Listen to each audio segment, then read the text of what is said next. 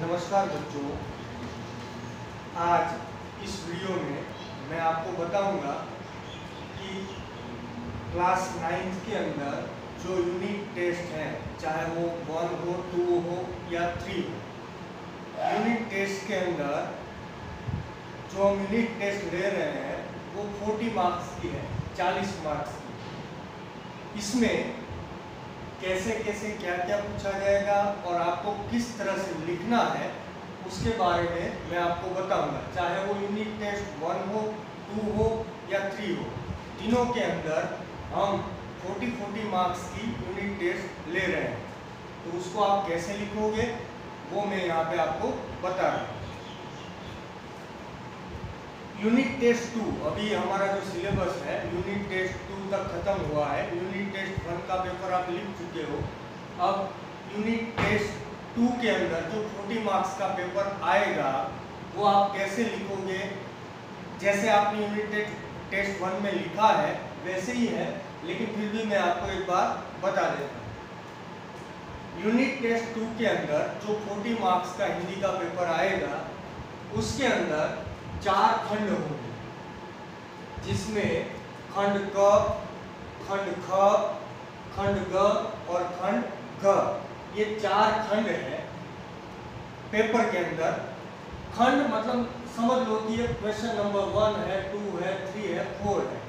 और ये चार खंडों में यहाँ पे दिया गया है। जब आपका फाइनल पेपर आएगा 80 मार्क्स का, तब भी ये चार खंड ही होंगे। सिर्फ़ इसमें फ़र्क होगा। अभी यूनिट टेस्ट है तो यूनिट टेस्ट के लिए मैं आपको बता रहा हूँ, सबसे पहले जो खंड क है, इसके अंदर हमेशा अपठित गद्यांश, जो अपठित है, पठित नहीं है, क्योंकि हमारे सीबीएसई के जो फॉर्मेट के अनुसार हमारा हिंदी का नाइन टेंथ का है, उसके अंदर पठित गद्यांश जो है, वो नहीं पूछा जाता। तो यहाँ पे अपठित गद्यांश जो है वो नौ मार्क्स का आएगा।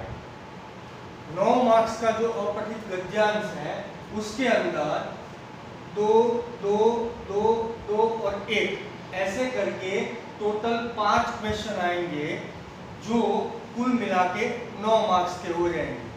जिसमें ये जो एक मार्क का है, उसके अंदर लगभग जो अपठित गद्यांश है, उसका शीर्षक दीजिए या तो कोई व्याकरण प्रश्न एक मार्क का आएगा, बाकी जो है, वो दो दो मार्क के चार आएँगे। इसके अंदर मैं आपको एक बात बता दूँ कि ये जो अपठित गद्यांश है, इसके अंदर हर बार जो विद्यार्थी है, वो क्या करते हैं कि जब शुरुआत करते हैं, खंड क का लिखने की जब शुरुआत करते हैं तो सबसे पहले अपठित गद्यांश के अंदर वो सीधा क्वेश्चन पे आ जाते हैं। जो प्रश्न है, उस पर आ जाते हैं। पहले प्रश्न पढ़ते हैं, बाद में वो पैराग्राफ पढ़ते हैं।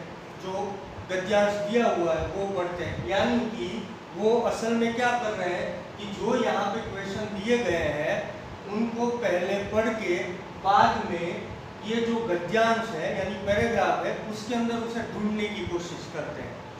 तो हर बार ये संभव नहीं है। हो सकता है एक आध बार कोई क्वेश्चन ऐसे लाइन टू लाइन मिल जाए, लेकिन नाइन टेंथ के जो पैसेज है पैराग्राफ है, गद्यांश है, उसके अंदर लगभग ये ढूंढना मुश्किल हो जाता है। तो आपको क्या करना है?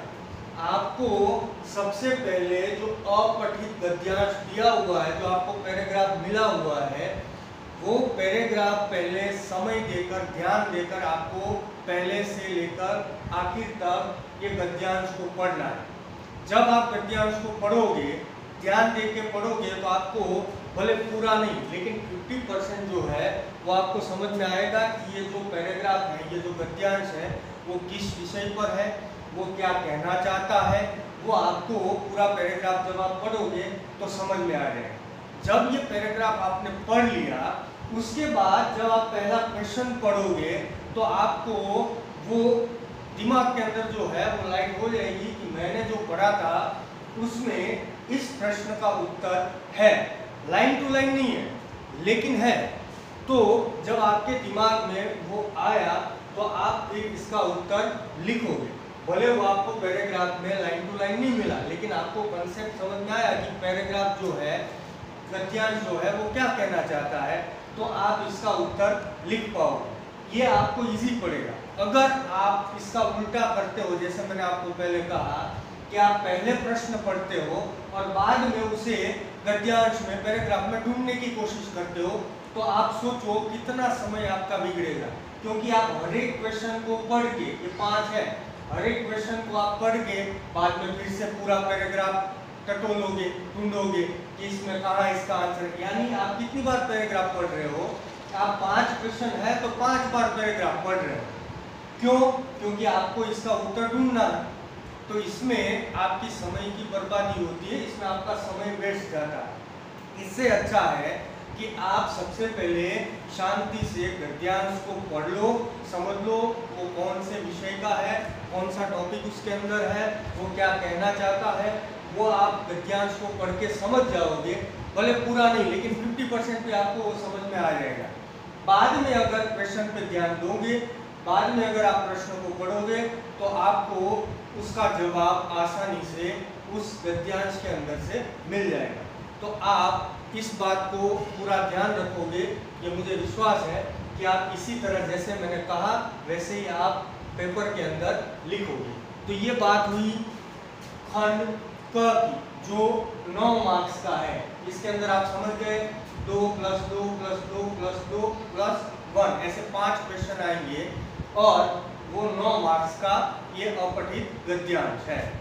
तो जैसे मैंने कहा, वैसे आप इसको पूरी ईमानदारी से पढ़कर इसका जवाब लिखना। इसके बाद जो खंड ख है, वो व्याकरण का है। तो व्याकरण के अंदर यूनिट टू में मैं आपको कहूँ तो आपके यूनिट टू के अंदर शब्द व पद श्रुति संभिन्नार्थक शब्द, पर्यायवाची शब्द और विलोम शब्द। ये चार टॉपिक जो है, वो आपकी यूनिट टू में है। तो चार टॉपिक जो है, उसमें से शब्द और पद जो है, वो दो मार्क्स में। श्रुति संभिन्नार्थक शब्द जो है, वो दो मार्क्स में। पर्यायवाची एक मार्क का और विलोम एक मार्क का। ऐसे कुल मिला के छः मार्क छः मार्क्स का आपका जो है, वो व्याकरण है ग्रामर है। जिसके अंदर शब्द और पद में पूछा जाएगा आपको कि शब्द किसे कहते हैं, पद किसे कहते हैं, उदाहरण सही समझाइए। तो ऐसे ही इन चारों को, यानी कि शब्द और पद, श्रुति संविनात्मक शब्द, पर्यायवाची शब्द और विलोम शब्द, ये कुल मिला के छह मार्ग का व्याकरण के अंदर आपको पूछा जाएगा, जो आपको ध्यान देके ये जो व्याकरण के खंड ख के जो छह मार्क्स हैं, वो जाने नहीं चाहिए। अब ये यूनिट टेस्ट है, इसलिए सिर्फ़ छः मार्क्स का ग्रामर है। जब आपकी फाइनल एग्ज़ाम आएगी 80 मार्क्स की, तब ग्रामर में जो है, वो मार्क्स बढ़ जाएँगे, हर एक हर एक में मार्क्स बढ़ जाएँगे। तो ये हुई बात ग्रामर की। आपको याद रह गया होगा, इसके अंदर इस बार यूनिट टेस्ट टू के अंदर टू की बात कर रहा हूँ।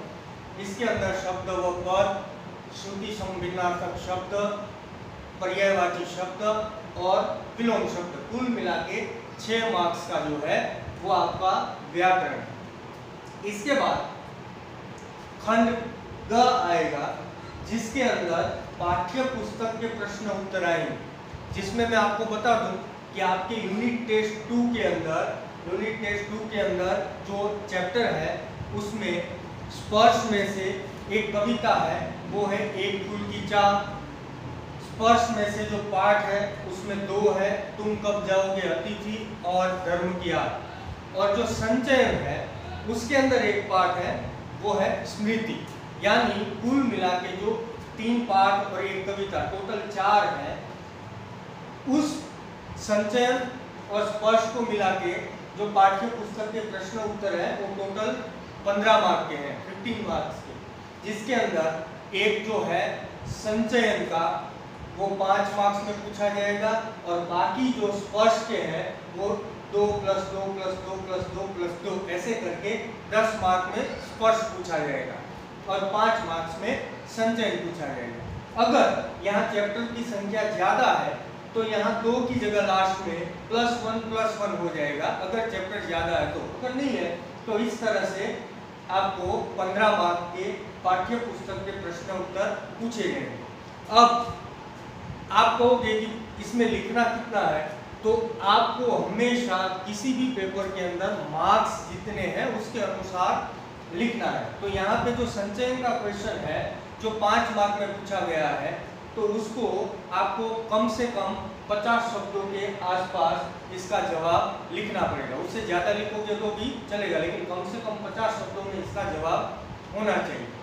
अब ये जो दो दो मार्क के और या तो एक मार्क का जो है, उसमें मार्क्स के अनुसार उसके शब्द जो है, वो कम हो जाएँगे, यानी कि 30-35 शब्दों में आप इसका जवाब लिखोगे तो जैसे मार्क्स हैं, जितने मार्क्स का आपको प्रश्न पूछा गया है, उस मार्क्स के हिसाब से आपको उसको न्याय देना है, लिखना अगर एक मार्क का है तो आप डेढ़ दो लाइन में, यानी कि 20 से 25 शब्दों में उसका जवाब लिखोगे।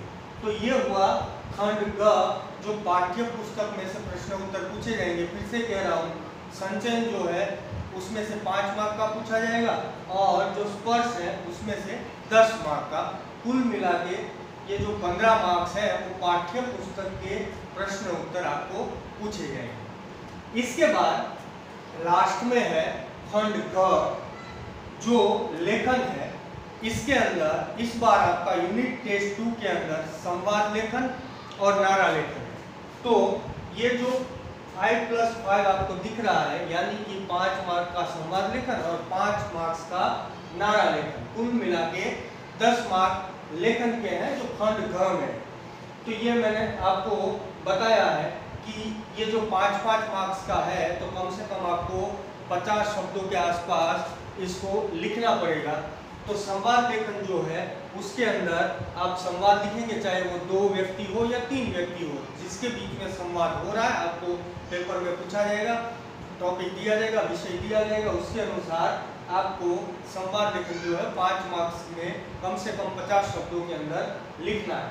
और ये जो है, पाँच मार्क्स, उसमें नारा लेखन है, जिसमें आपको स्लोगन, राइटिंग जो है, वो करनी है। तो वो भी आपको 35 से 40 शब्दों के अंदर आपको नारा लेखन जो है, वो करना।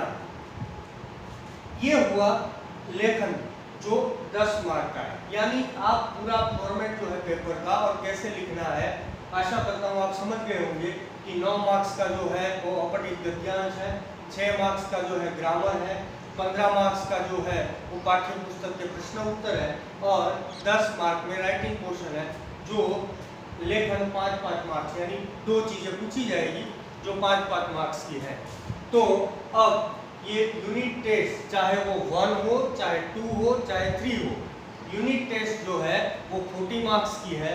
इसलिए हर एक यूनिट टेस्ट में इसी तरह का फॉर्मेट रहेगा और हर एक यूनिट टेस्ट में आपको इसी तरह लिखना पड़ेगा। अब लास्ट में एक और बात, जब आप पेपर लिखते हो, तब बहुत सारे विद्यार्थी जो है वो खिचड़ी कर देते हैं, यानी कि बहुत नज़दीक नज़दीक लिख देते हैं, ताकि वो समझ में नहीं आता कि कहाँ से कौन सा खंड शुरू होता है।